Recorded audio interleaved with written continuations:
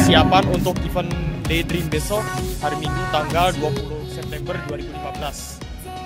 Nah sekarang ini situasi loading loading unload loading mobilnya. Dan bisa kita lihat ini kayaknya sibuk banget ini.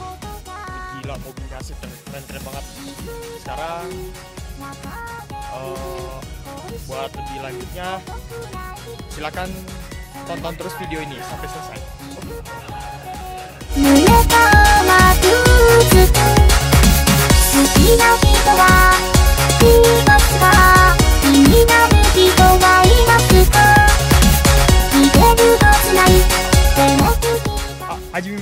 あのいいたしぬり社からギランと言いますあ、どうもよろしくお願いします。あの達也白石さんあ、そうです。なんか Facebook あの友達になってありがとうございます。 ini kita sedang bersama Mr. Tatsuya Shiraisang dia pemilik Toyota Celica hmm, Girls Under Panzer dan sekarang ya, kita bakalan nempelin stiker soan Ita Indonesia ちょっとあのなんかあの車のことをちょっと紹介してくれませんか？あ、本当ですか？あ、じゃあ待ってからでいいですか？えーっとじゃあ。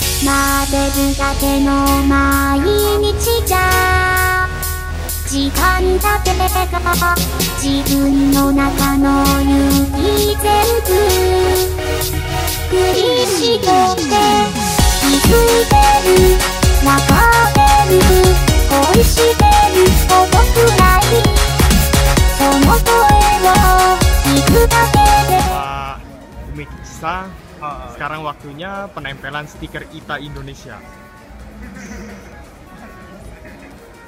Atau, Yoris onegai mas Hai. Ja, koni. Koni. Hai.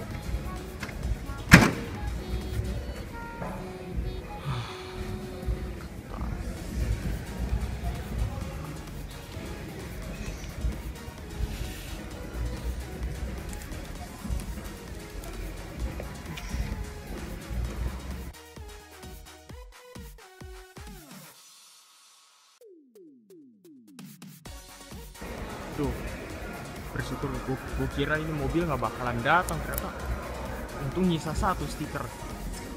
Jadi bisa nempelin ke mobil ini. Oh ini gue paling senang. Bangga banget dah. Dan tertempel.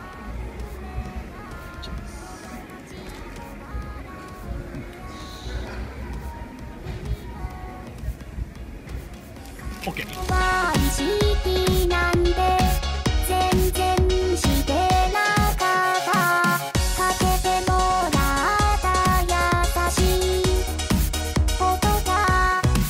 bagian gua nge-review Toyota Toyota Alphard.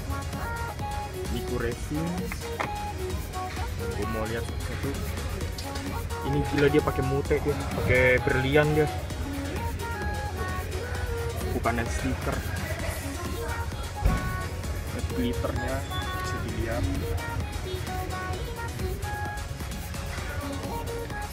Nah ini juga. Ini juga sama dia pakai tempelan-tempelan berlian imitasi gitu biar kelihatan lebih berkilau.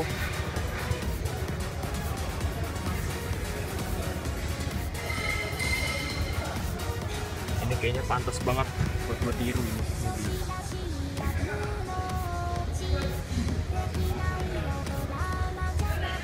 Suara suara dake だけ。 100万円施工だけ。全部ですか全部で。全部一周やって。これ全部やって。 100 万円Seru. Nih.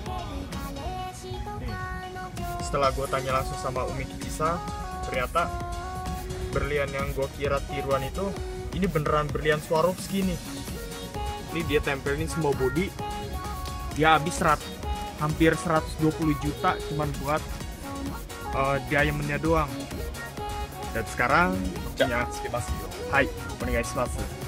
Sekarang waktunya penempelan stiker si Aji. Tabu ano Aji Aji kun ga ureshi ureshi sou desu ne. Aji, ano アジあアジアジ君あのこのステッカーああはいはいあのはい CBR 持ってる人はいはいはいはいアジくんあアジ君 いつもあのミクレーシングばっかりが好きな人があレーシングミクの？うん。あなるほど。エブ未来うん。未来？うん。はいはい。あ AV の未来。うん。はいはい。お友達です。あ出たでうん。いやツイッターじゃなく普通にお友達です。インドネシアから？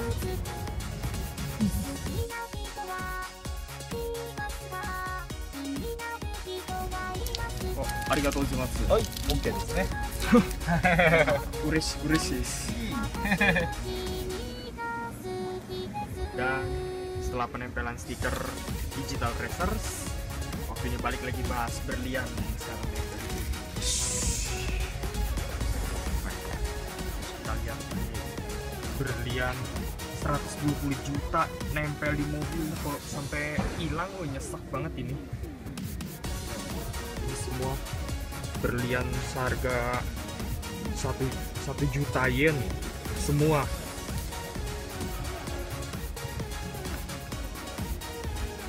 Ya detail sampai ke rambut rambutnya juga. Main. ini juga.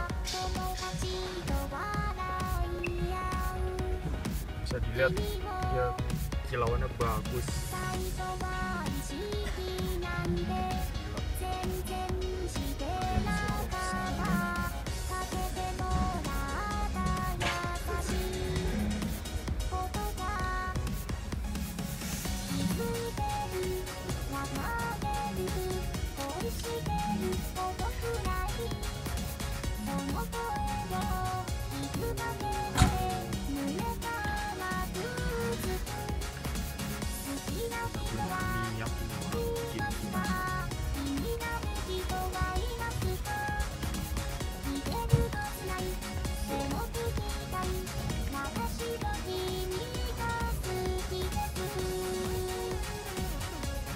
いやありがとうございます。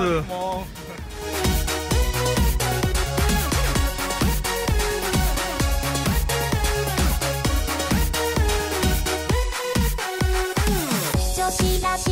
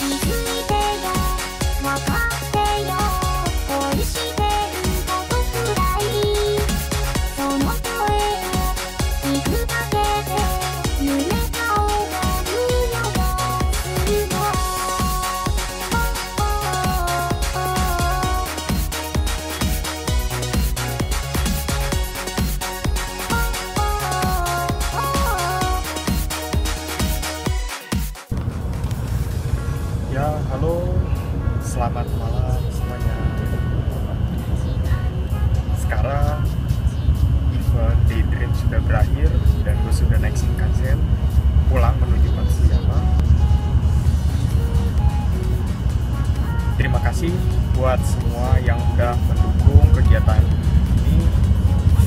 Pertama, saya berterima kasih kepada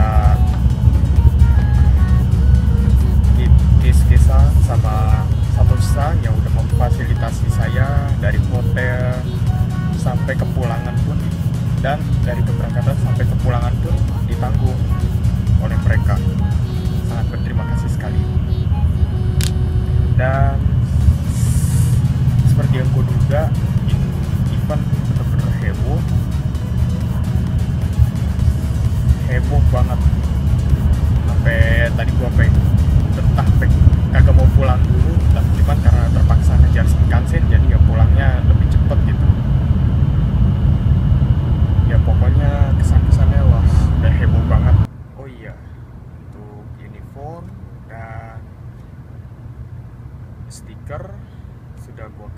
ke member-member di sana untuk uniform yang ini gue pakai satu yang dua gue kasih ke case kesan sama si Indomarsang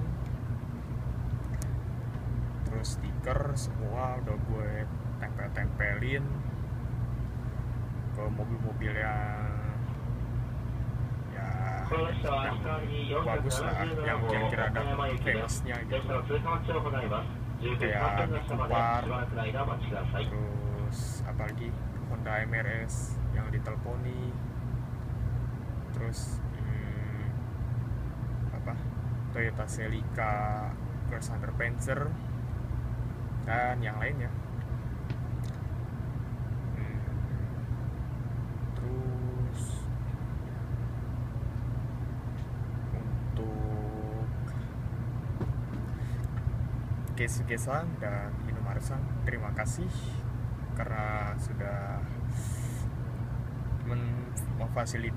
memfasilitasi saya dari keberangkatan tempat tempat nginep di hotel sampai kepulangan pun mereka membantu saya dengan lancar. Saya sangat berterima kasih dan saya akan senang sekali bisa bertemu dengan mereka kembali di event-event selanjutnya. Jadi untuk event yang ini bukan yang terakhir kalinya gue mau mau datang ke event-event Jepang. Dan gue selama masih ada kesempatan di Jepang gue mau mem- memperkenalkan nama ITA Indonesia sampai ke member-member sini. Karena di sini juga komunitas ITA ini juga nggak cuma satu ada banyak di berbagai wilayah. Mungkin kemarin udah di daerah Pulau Shikoku udah aneh tempel-tempelin juga stikernya. Terus ke event Daydream yang skala nasional ini. Ya nggak semua sih beberapa aja yang gue tempelin karena kekurangan banyak stiker. Terus dan buat Aji sama uh, siapa tuh penggemar miku-miku yang lainnya dapat salam dari Umekichi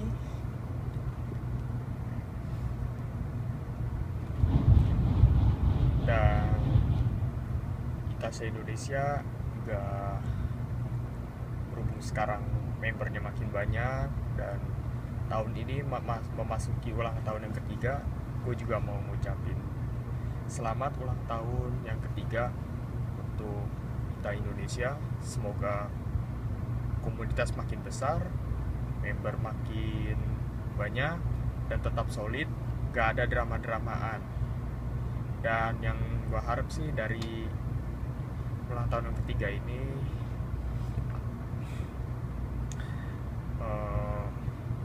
untuk member-membernya tolong kalau ngomong jangan pakai bahasa kasar-kasar gitu. Apalagi sama member baru yang notabene belum tahu sifat kita kayak apa untuk menghindari selek-selek gimana gitu. Soalnya kan gak enak juga kalau misalkan anak baru diomong-omongin kasar sama member yang udah masuk terlebih dahulu kesannya jelek. Dan mereka yang dari sini pun juga bilang begitu. Tolong gitu apa lebih ramah kepada junior gitu. Gak ada ya sebenarnya emang gak ada istilah kata senior senioran gitu. Gak ada senior junior. Kita semua sama kita Ita lovers. Dan untuk laporan event kali ini gua tutup dulu. Sekian dan semoga bisa bertemu di event-event selanjutnya. Dan gue tetap bakalan bikin live report langsung dari Jepang. Terima kasih. Assalamualaikum warahmatullahi wabarakatuh